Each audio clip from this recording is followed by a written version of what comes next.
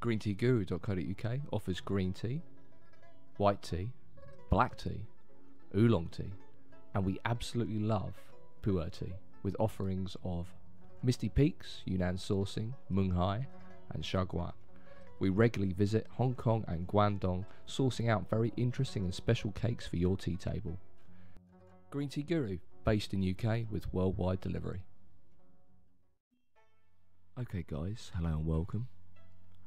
Welcome to Green Tea Guru, and today we'll be unraveling the ancient mysteries of Chinese traditional medicine and how it relates to tea. So, while in Guangdong visiting various tea shops, I came across this little gem. Um, they sell black tea, a very high end black tea, very, very nice, very malty, very, very light, very tasty. Um, it's really serving as a, a backdrop to our impending conversation. But if anyone's interested in this tea, then I have several 20 gram pouches that I'm more than willing to give away with any of my tea orders. Just let me know and I'll drop some in. I tell you what spurred me to create this video. After the last video that I made, um, pu'er going global, I did briefly mention the cooling properties of pu'er tea, and I got a, a few emails from people asking how and why and why does this happen? I don't understand. Please tell me more. Uh, there's also been a couple of heated debates on some tea forums, and I think that traditional Chinese medicine is for some people potentially quite hard to grasp. It's it's not like our scientific method methodology for medicine in the West. Think of it as an alternative medicine, one that's been practiced for thousands of years, and one that is still very much used and sought after by Chinese people. Often, when people are ill in China and Hong Kong, they'll take both routes. They'll they'll go for the the, the Western um, proven scientific method method of, uh, of of, getting well, uh, but also supplement that with traditional Chinese medicine. I was speaking only last month to an expat that I know over in uh, Hong Kong, and he was telling me how hard it is to find a doctor um, that's that doesn't come out with, you know, you're ill because you're too hot or too cold. He just wants he just wants a normal doctor, um, which I found very amusing. You can probably tell in my voice today, guys, that uh, my voice is very croaky. Um, so definitely my yin or yang is is out of place somewhere, and that's how it works. Um, your body uh, has yin and yang, and the hot and cold. Uh, when you're ill, uh, there is an imbalance somewhere, and to fix your illness, uh, you need to balance out your yin yang. So hot and cold foods, hot and cold drinks, hot and cold anything will put that back to its order of things.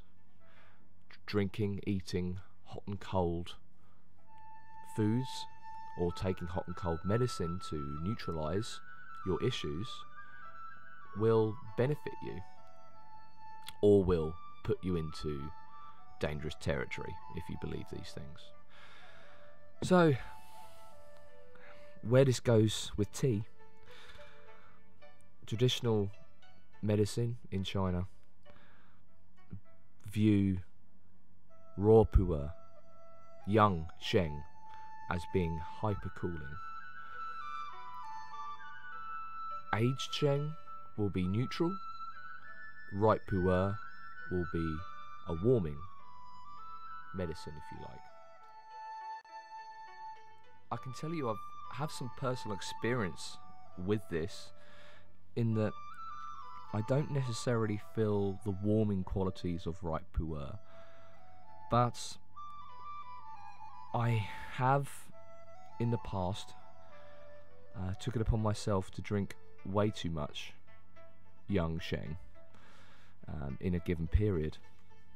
Um, and and what happened to me uh, was I have never really experienced this before. I've, I think I've generally been a very warm uh, bodied person.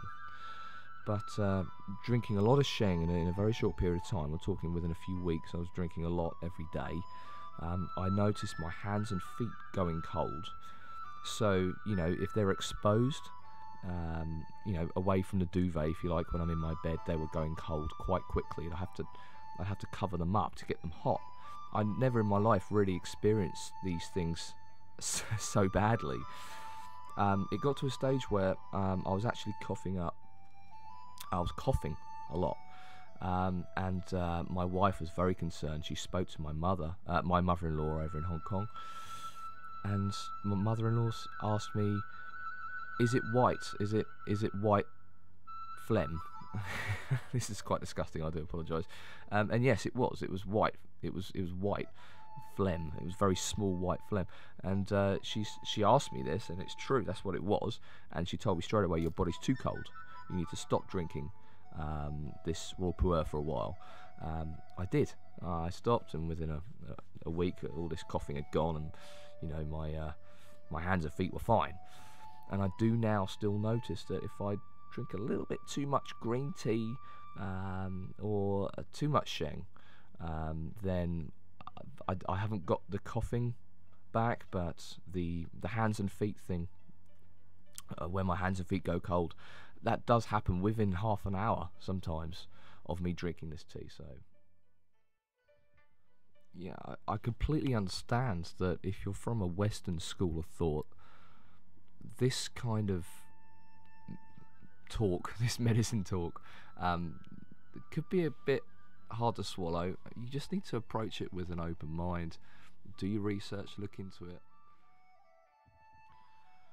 To put it easily. I I believe that the the nature of whether a tea is hot or cold generally boils down to how roasted or oxidized that particular tea is. Young Sheng, green tea, is right at the bottom there of uh, of processing. The higher up you get, the more potentially warming or neutral that tea is going to be. So I find it quite interesting because a lot of my uh, Chinese family on the wife's side, they're very susceptible to cool, co- cooling tea. Uh, they can't drink Sheng because they go very dizzy, uh, which is absolutely fine. There's more Sheng for me. um, but also, my wife's, um, my sister-in-law, she she has a very hot body, uh, something she just can't shake off. Um, so much so that when she goes through uh, certain points in Hong Kong, if you're going in or outside Hong Kong, they've got these uh, these these points that have been put up to check for SARS or any other um, illnesses that might be going around, and they just really they beep your head, so they they they they work out how um, uh, if you've got a temperature and whenever she gets beeped, she always gets stopped and have has questions asked because she's got a hot body, um, which is interesting. So, how do you know if your body is too hot? Well, I'm going to quickly spin off some uh, potential symptoms uh, perspiration, thirst, constipation, anxiety, red eyes, red face, headaches, vivid dreams, ulcers in the mouth or tongue. These sort of things may indicate that you've got a, a potentially a, too hot body. So when you're too hot, you are too yang heavy. You need more yin to bring your body down and neutralize it a bit. If you're too cold, then you need to raise your yang. The potential symptoms are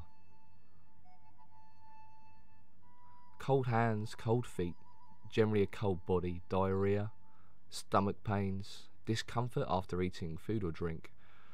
Um, sorry, discomfort after eating or drinking cold things, bloating after eating, lack of energy, sore joints, fluid retention. And I'm going to quickly spin off some cooling foods and drink. So, cooling foods may be apple, banana, grapefruit, kiwi fruit, lemon, orange, pear. Um, of course, we've covered the tea.